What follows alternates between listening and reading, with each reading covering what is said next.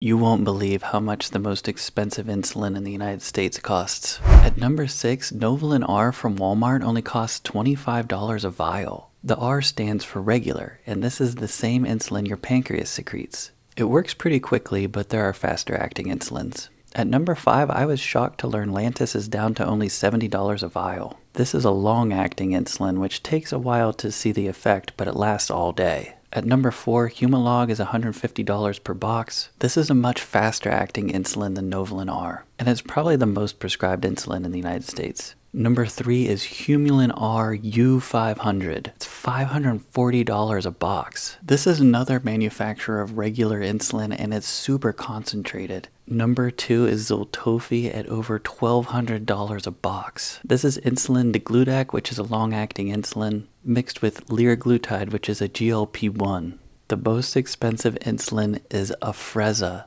and it's over $2,200.